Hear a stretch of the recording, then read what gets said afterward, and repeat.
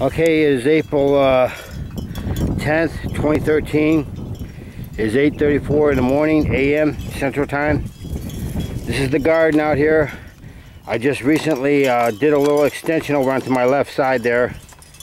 I made it like, it looks like a giant C from the air, I guess you'd say. Earlier I had done uh, that extension back there. Uh, where those three makeshift uh, deer deterrents are. You know, keep deer out over there.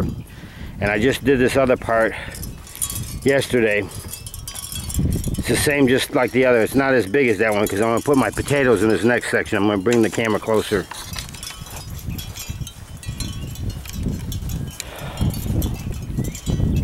The garden is dedicated to my mother who passed away from cancer December 28, 2013 at 3.49 p.m. This section right here be nice to Petey, get out of there. It's like a little uh, extension there. Like I say, it almost makes a big a C out here. The top part is not as big as that one back there. That one is um, uh, 14 across by, nine, by 19. This one I have not measured. It looks like it might be about uh, 14 and a half, maybe 15 by about uh, 12 or 14 feet. But that's where the potatoes are going to go. Uh, have a few things else growing already. I went ahead and took the tiller and just went up the center rows here. As you can see, I've got one row, two, three, four, five, six rows across here.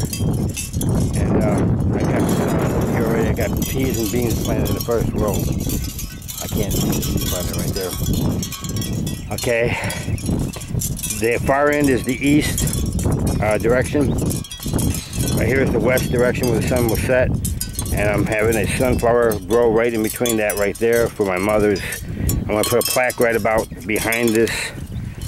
Almost close to where the camera is standing right now will be the plaque. It'll be dedicated to my mother. It'll be Mary Elizabeth Cernick, in quotation marks, Shorty. That's what everybody called her, Shorty. The garden will be dedicated to her.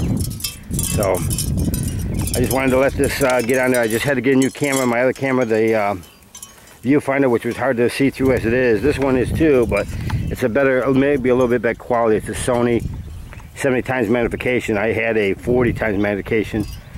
Two years ago I had an 80 uh, magnification.